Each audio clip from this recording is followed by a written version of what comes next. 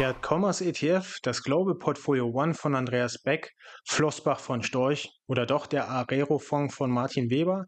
Wer hat die letzten zwölf Monate und die Turbulenzen an den Börsen am besten mit seiner Investmentstrategie gemeistert? Bei unserem ersten Vergleich im August 2022 habt ihr euch ein wiederkehrendes Update gewünscht. Deshalb erfährst du jetzt, wer aktuell die Nase vorn hat. Viel Spaß dabei! Hi und willkommen zurück. Ich bin's Matthias und ich freue mich, dass du wieder eingeschaltet hast. Wie ihr wisst, empfehlen wir euch weltweit in den Aktienmarkt zu investieren. Das klingt zunächst mal recht einfach und trotzdem gibt es immer mal wieder Ideen und Ansätze, die dieses einfache Prinzip verfeinern. Doch wie ihr wisst, gibt es nichts umsonst. Daher schauen wir uns die bekanntesten Portfolio-Manager mit ihren Strategien an und erklären, warum welche Strategie in welcher Phase gut abschneidet. Starten wir mit den fünf Weltstrategien, die wir in dem Performance-Vergleich aufgenommen haben. Neben einem reinen Welt-ETF schauen wir uns das Global Portfolio One von Andreas Beck, den Arero-Fonds von Martin Weber, den Gerd Kommer ETF und den Multiple Opportunities Aktien bzw. Mischfonds von Flossbach von Storch an. Zusätzlich führen wir noch den MSCI World sowie einen MSCI Emerging Markets ETF auf, um hier auf einen Blick zu sehen, wie die zwei großen Regionen der Aktienwelt jeweils abgeschnitten haben. Beginnen wir mit dem reinen Welt-ETF, bei dem wir uns für den Spider MSCI ACWI IME ETF entschieden haben.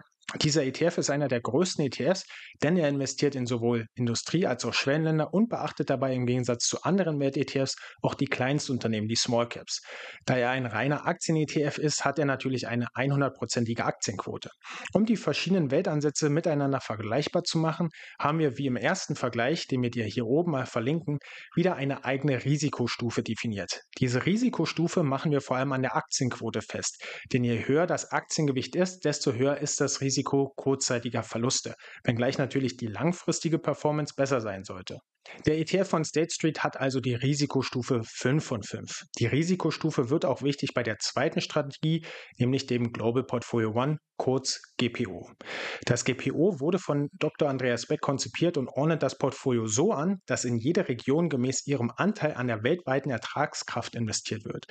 Hier sind in der Regel 80 Prozent in Aktien und 20 Prozent in Staatsanleihen und Gold investiert. Ziel ist es, diese Investitionsreserve in Krisen stückweise aufzulösen und in Aktien zu investieren, weil dort höhere Renditen erhofft werden. Von uns gibt es daher eine Risikostufe 4 von 5, denn die Anleihen sollten als Pufferfunktion dienen. Als nächstes schauen wir uns den Arero-Fonds von Professor Dr. Martin Weber an. Dieser investiert zu 60 Prozent in Aktien, 25 Prozent Staatsanleihen und 15 Prozent in Rohstoffe. Der Fonds soll einen gleichbleibenden Wertzuwachs erzielen und hat dafür auch noch die Rohstoffe mit drin, die wir in diesen Zeiten schon fast als Stagflationspuffer bezeichnen würden, denn gerade die Rohstoffe haben dem Arero gewissermaßen durch das erste Halbjahr 2022 geholfen, als sowohl Aktien Aktien als auch Anleihen gelitten hatten. Aufgrund der geringen Aktienquote und der stabilen Anleihequote setzen wir den Risikowert auf 3 von 5. Kommen wir zum nächsten Ansatz, dem Multifaktoransatz nach Gerd Kommer. Wir haben hier einen Faktoransatz, der verschiedene Faktorprämien vereinnahmt. Wir haben bereits ein Video zum Gerd Kommer ETF gemacht, das du ebenfalls hier findest. Zusammengefasst lässt sich festhalten, dass durch die verschiedenen Gewichtungsmethoden ein stärkerer Fokus auf Schwellenländer und weniger Tech insgesamt gesetzt wird. Da es ein reiner Aktien-ETF ist, haben wir hier die Risikostufe 5 von 5 gewählt. Die Daten haben wir von dem entsprechenden Index, den der Gerd Kommer ETF abbildet und hiervon haben wir dann die ETF-Kosten abgezogen. Schließlich haben wir den mehrfach ausgezeichneten aktiven Mischfonds von Flossbach von Storch. Er ist mehrheitlich in Aktien investiert, nutzt aber auch Anleihen und Edelmetalle als Beimischung. Hier siehst du die Aufteilung per Ende Juli. 68% waren in Aktien investiert, 13% in Anleihen, insgesamt sogar 14% in Gold und weitere Edelmetalle und 4% in Cash. Wir vergeben daher wie beim Arero die Risikostufe 3 von 5, da er von der Asset Allocation mit ihm ganz gut vergleichbar ist, obwohl er ein aktiv gemanagter Fonds ist und auch die Asset Allocation dynamisch und nicht so starr wie beim Arero ist. Hier nochmal alle Strategien im Überblick. Du siehst, dass wir reine Aktienansätze haben wie den MSCI ACBI IMI ETF oder auch den Gerd ETF.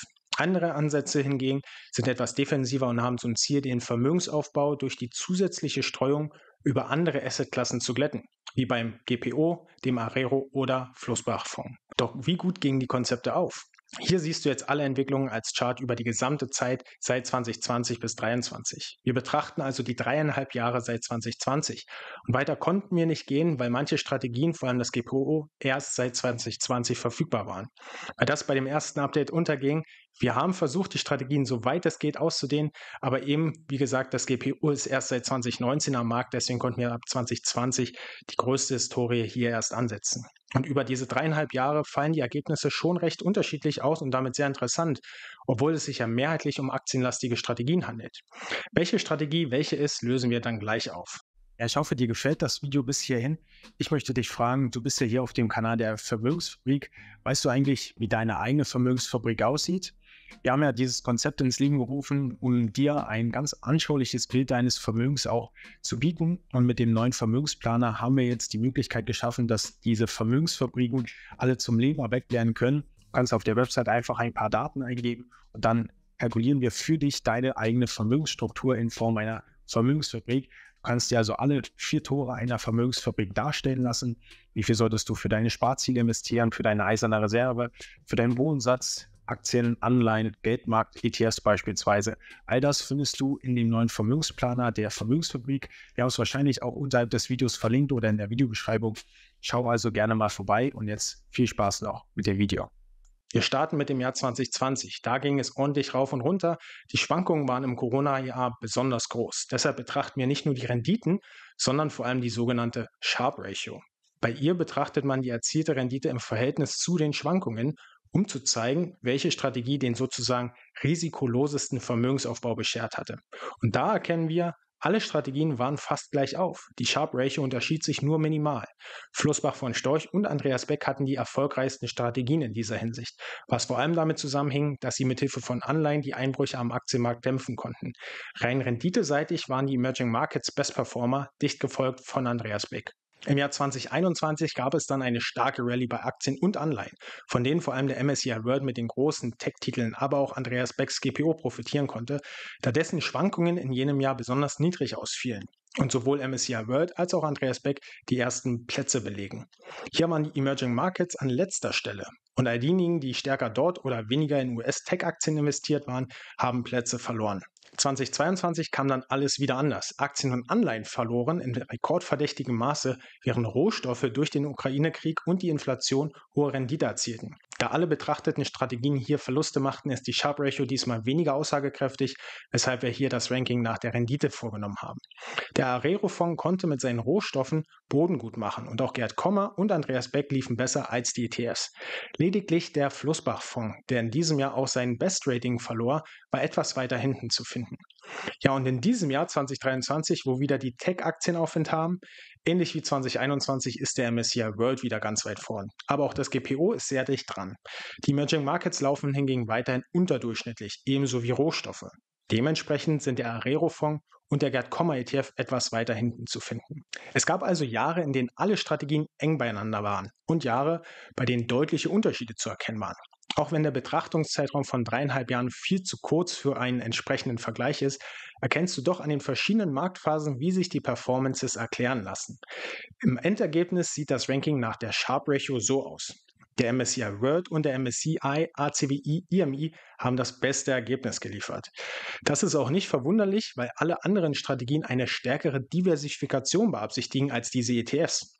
Dadurch, dass aber in den letzten dreieinhalb Jahren gerade wenige große Titel Rendite gebracht haben, konnte sich das Prinzip der Diversifikation noch nicht auszahlen. Wir haben aber gesehen, dass beispielsweise im Corona-Jahr diese Klumpenrisiken bei den ETFs auch bestraft werden können.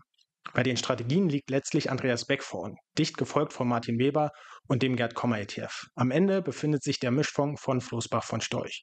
Die Emerging Markets sind weit abgeschlagen. Bedenke, die vergangenen Kurse sind kein Indikator für zukünftige Performance. Insofern hat jede dieser Strategien ihre Daseinsberechtigung und beim nächsten Update kann alles wieder anders aussehen.